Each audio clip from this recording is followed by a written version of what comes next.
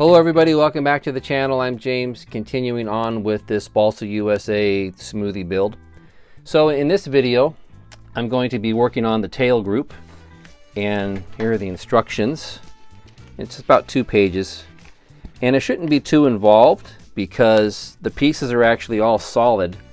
This is the fin or the vertical stabilizer here. I got it under a few weights because there was a kind of a little bit of a warp in it. Here's the rudder and then over here, I have the pieces for the elevator and the horizontal stabilizer here. And the tips are actually going to be laminated, two pieces for the tips have to be glued together. I'm not sure why, or I don't know why they just didn't get, everything else is the same thickness in the for these pieces. But for some reason the tips are two thinner pieces that have to be laminated. So any case, this is the dowel that's going to hold the elevator pieces together. Down here is the plan. There's the dowel right there. There are the tips that I just mentioned. And then back here, these are these blocks that are going to go kind of fill in. And that's going to be these blocks right here. They're going to kind of fill in to form that, just kind of, to kind of can, can carry this carry this smooth shape back toward the tip, toward the end of the tail, kind of fill that in. And then what else do I have here? These are the ailerons. I'm not going to mess with those right now, but those are the ailerons that are going to have to be shaped a little bit.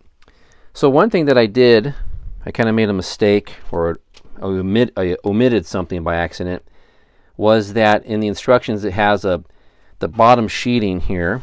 Let me show you the bottom sheeting. I put that bottom sheeting all the way all the way to the to the end here using just the balsa sheeting. And then what I realized was that this end piece in here, they wanted me to use a piece of plywood and piece of scrap ply, which is like right, right in there. And that's just kind of help support the tail wheel assembly. So what I did is instead of pulling this off and kind of gluing a piece on there and cutting it in that, I just put a piece inside. Maybe hard to see in there, but it's kind of, I just put a piece of plywood scrap down the side here. I just glued it in. And that'll be fine because what's going to happen is the again the little the little mount for the tail gear is going to go through and it's going to screw into that. So it'll that's okay. It'll it'll screw into that plywood on the inside and that'll help support it. So I think that's that's fine there. All right, so there's actually not a lot going on with this portion of the of the build like I mentioned because it's just these big solid pieces that have to just basically be sanded and then just kind of this one is there's nothing to do on that one at all. Um, the pl original plans show the rudder like in two pieces, one here and one here. But in the current kit, they just give you the one solid piece. So that's about it for a little bit of an overview. And then I'll get started on this. Let me see here. Yeah, one thing that I don't typically do is just it's just personal preferences. I generally like to kind of glue my the elevator and, and the um, and the rudder on and, and the stabilizers on after I cover with Monokote. But in the instructions here, they're having you glue them on. I'll do it that way and I'll just cover. I usually find it easier to cover, you know, the pieces when they're not attached. But you can also cover it with the, with the pieces attached. I see that a lot. So I'm going to take that route this time. All right, so go ahead and get started on this and we'll keep on moving. Okay, so the first thing I need to do is I'm going to stable, I'm going to put these tips together. They need to be laminated. I'm just going to use some Titebond wood glue for the middle. Hopefully I'm not plugged up here. There you go. I don't want to put too much of this on here because I think sometimes since this glue is water-based, I'm kind of stuck here.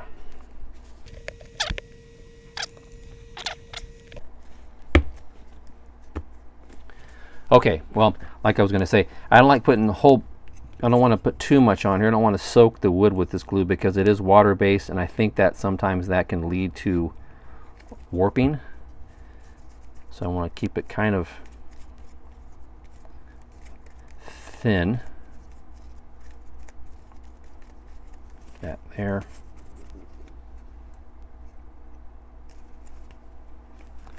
And I should get a rag. Okay. Okay, just like that. Boy, this is pretty soft wood. I mean, balsa obviously is a soft wood and it's light. That's why many reasons why you want to use balsa because it's soft and light.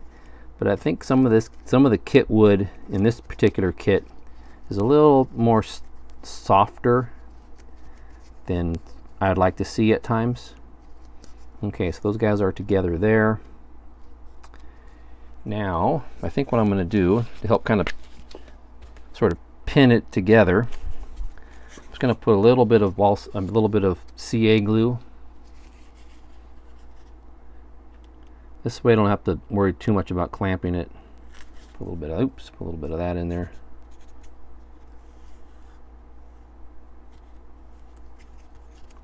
And actually, if I do this, I can kind of start working with it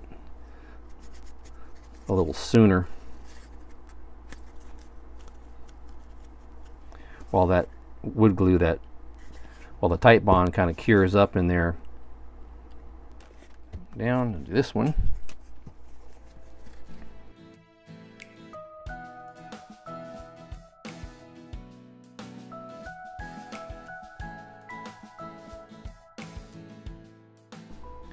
Okay, well, I get I say this a lot, and I'm I'd like to bring it up periodically. And again, I'm way I do things aren't. I'm never claimed that a way I do things is the only way to do stuff. And there's many ways to do a lot of these steps, and it's important to kind of develop your own ways of doing things. Do some research to see what other people are doing. But I don't think there are any kind of hard and fast rules to to most of the stuff that we are doing here. So take what I do as sort of just my opinion or the way I do it, but, but by all means, check out other methods. Okay, so as I mentioned, there's not like a whole bunch I can do here because these pieces are all solid. But I wanted to do is, is just so I can kind of helps me when I'm eyeballing things and when I'm lining things up. I want to draw the center line on this stabilizer here. So I'm just going to use my my square and I've already measured because when I put the pieces down on top of the plan, probably because the plan is just a photocopy of a photocopy of a photocopy, it doesn't appear like this is kind of printed out like from a, from like a computer program or something. It looks like it's just basically photocopied. There's a little bit of distortion in the plans I found. So these pieces of wood don't always match the plans. I've I've determined that along the way on this build. So anyhow, I'm going to put this, I like to have my the center line marked. This will kind of help me also when I'm lining it up later, just to help me kind of visualize and see things a little easier. So I'm going to go ahead and put this on the center line as it is on the plan. I'm just going to pin it down just to kind of hold it in place. grab some pins.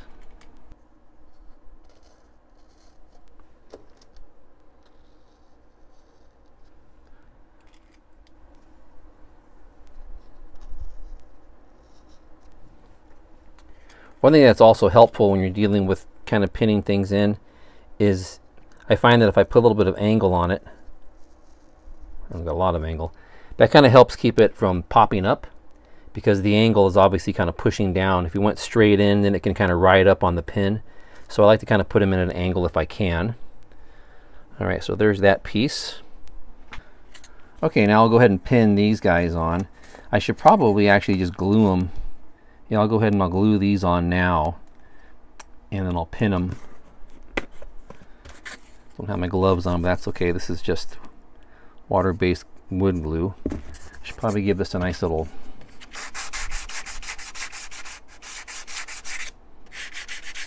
smooth that up a little bit.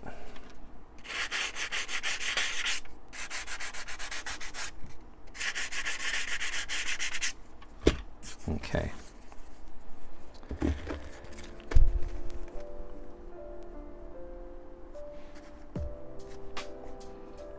There. I'm going to mark it.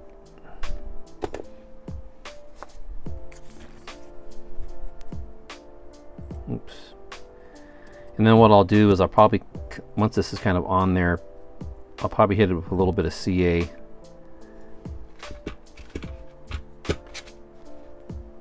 afterwards, after it kind of sets up.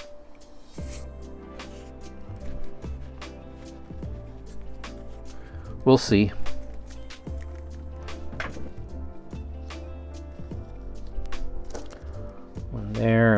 Here. And I'm going to put a block on here. Hold that down. And then this guy.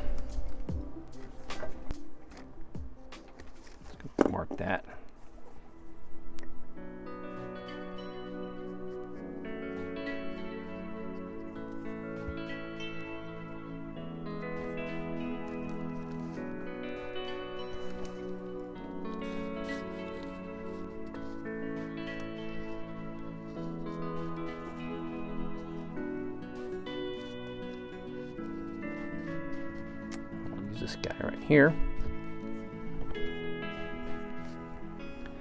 All right, so now what I'm going to do is I'm going to take these bigger pins and I'm going to use these. I'm just going to go flush, kind of flush up against the piece of wood here. I'm kind of use the, the biggest ones. Like I don't know what size these are, but and I could use something else like maybe some scrap balsa pieces and that's just gonna this is just so I can kind of build in a little bit of a gap when I what you'll see here.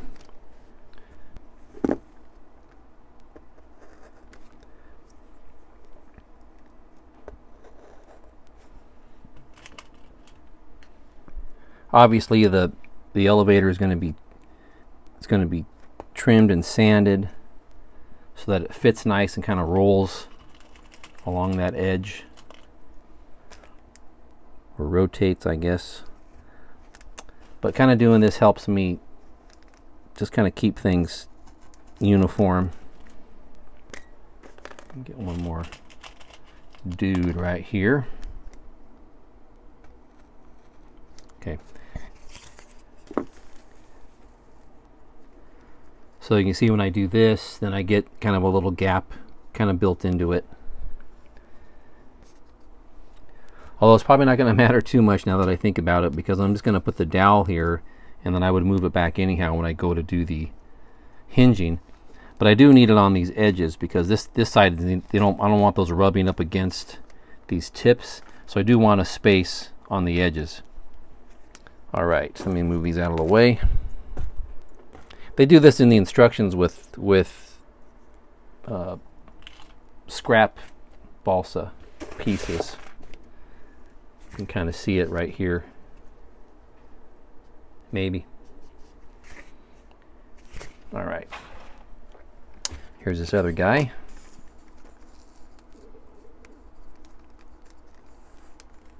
Okay. Now I'll just need to put this guy right here. I'll cut that, cut these pieces out so I can fit the dowel in there. The First thing I want to do though is I'm going to mark my the dowel itself, I want to mark the center line. That's the center line of my dowel. And this way I can kind of just see, kind of helps me eyeball where it is.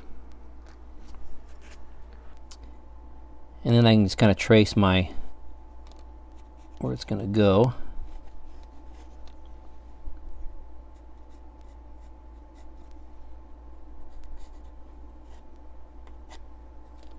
Okay, right there. Okay, so now I can cut these two little pieces out and I should be able to fit this guy right there. Pull this off of here.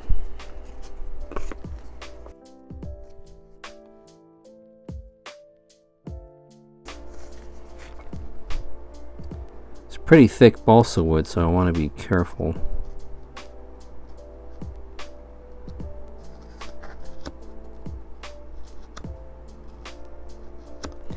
Meaning that if it's real thick it's easier to kind of get it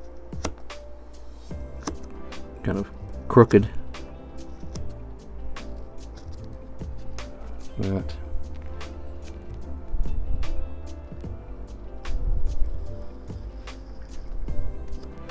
And when I say crooked I mean I want to cut straight down on this. I don't want to be on an angle so the thicker it is sometimes it's harder to get you you kind of end up doing a cut and then you got an angle and I don't want I don't want an angle in my cut in other words thinner sheets are easier because it's have less of a chance of doing that.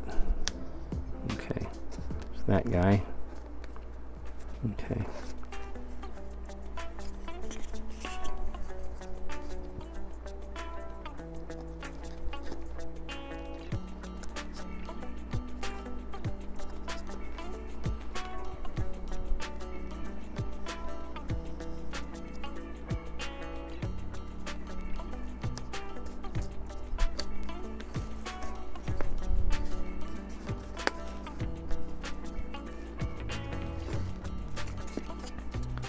All right, just do a little bit of trimming here to make it fit nicely.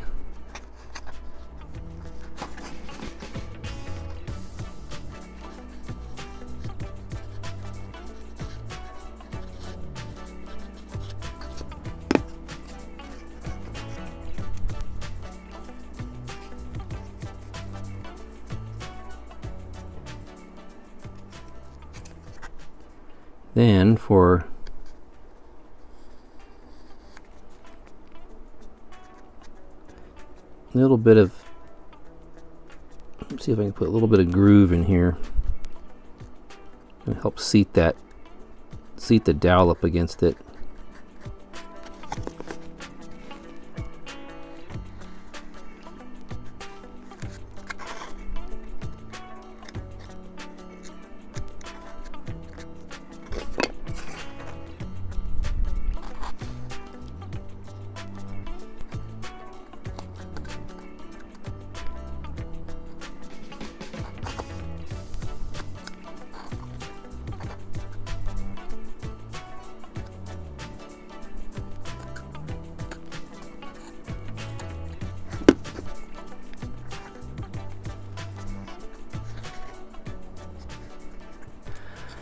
Okay, so let's see how this fits together. Shouldn't be too complicated.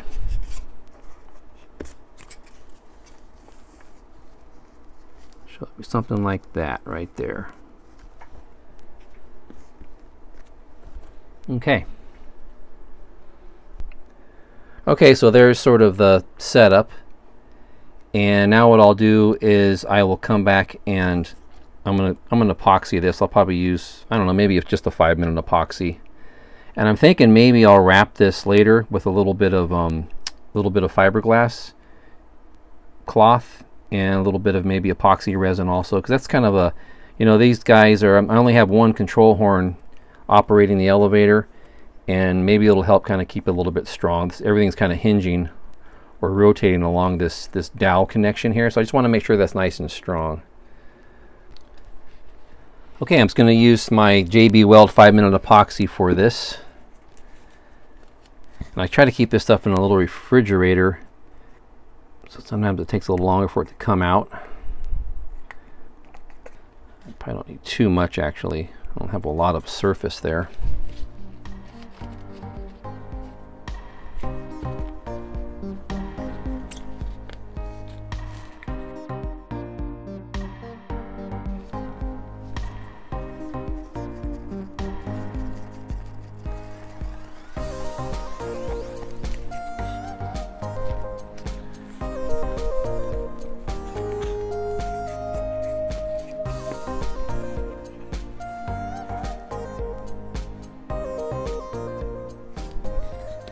Now I know it's going to drip out of here onto the wax paper, but that's okay.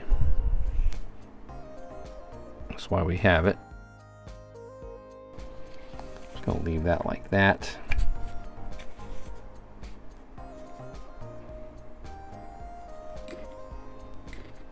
Boy, it makes too much. Oh well.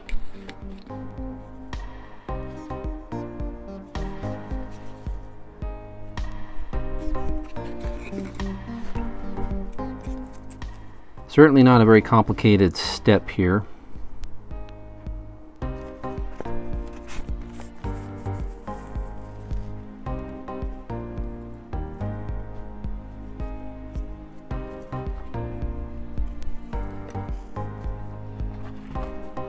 Some big pins.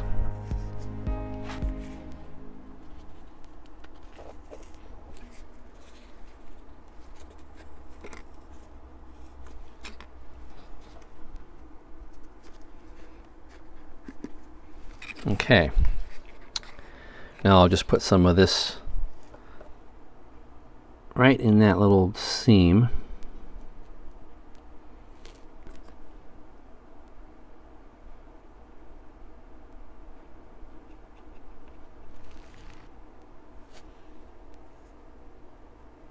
Okay. Now epoxy, kind of regular epoxy like this doesn't sand very nicely, if I should put it that way. So I don't want to, I'm going to kind of kind of try to put it on here at least as smooth as I can. It'll also be covered with Monokote, so it's not a big deal, but okay. All right, so we'll let this sit and cure, and then I'll come back and when I'll pull it off and I'll put, I'll do the same thing on the other side. I'll just put a nice bead of that in there, kind of fill it in. All right, so I let this sit overnight and cure up. Let's take a look at it here. Hopefully I didn't glue it down. Let's see here.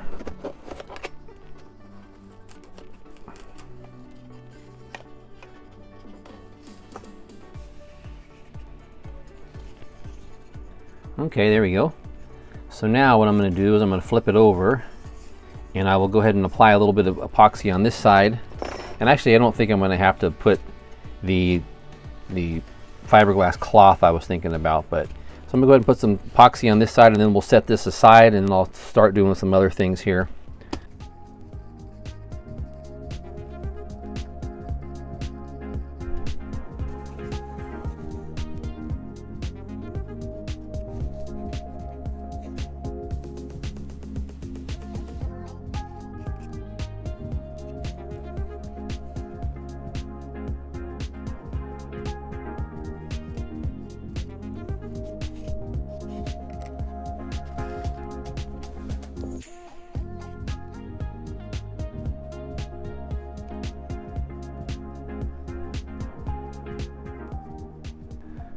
Right, so let me go ahead and take these pins out of here.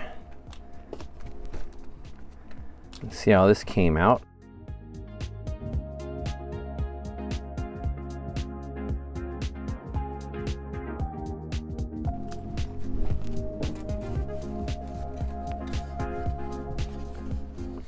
All right, looks pretty good.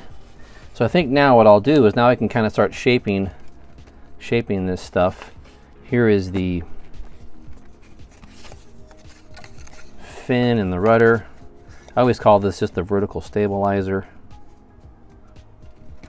All right, these are ready to be shaped, and then we can start looking about putting them onto the, attaching them to the rear portion of the fuselage. Okay, so here's the horizontal stabilizer is going to pop on here like this. Now it's going to move up a little bit because it's going to get rounded, so it's going to kind of fit this rounded kind of uh, the wood right here is rounded, this little these little side pieces. So once I kind of get this thing shaped, it's going to move up a little further than this. So it's not going to hang over as much over here. And if it does hang over, I'll trim it back a little bit, but that's going to go right about like that.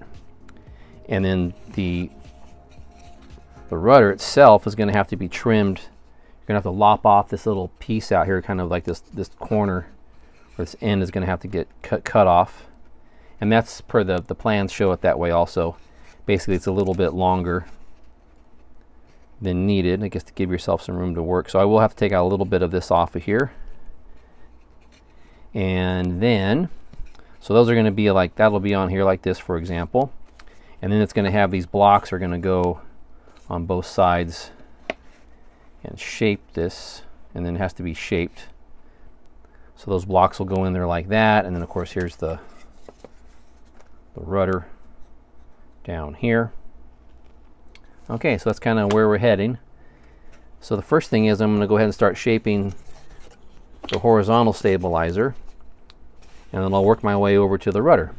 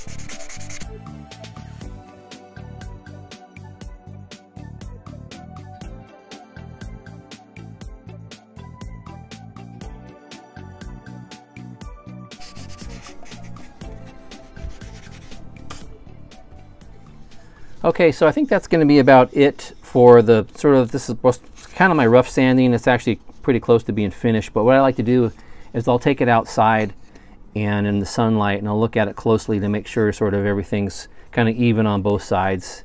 Hopefully everything's sort of symmetric. And I'll do a final sanding just to final kind of get those final shapes where I want them. Actually, it goes like this. So there's the, the rudder and the fin. And here's the elevator down here. Down here, kind of carrying up, is that other epoxy that I put on for the elevator. I'll go back to that one and finish that later. Okay, so um, that's going to be about it for this video. The next video, I'm hoping I'm going to be actually going to be attaching these onto the airplane, so that's going to be cool. And getting pretty close. I'm getting kind of, this is pretty much the last major kind of build step. And then after this, I can start kind of working on the landing gear and really start getting ready to cover it and do these other things, get all the guts in and kind of getting close here. So I'm really, really happy. It's, it's taken some time to get this far. Okay, so that's it for now. Thanks for watching my channel and we'll see you next time.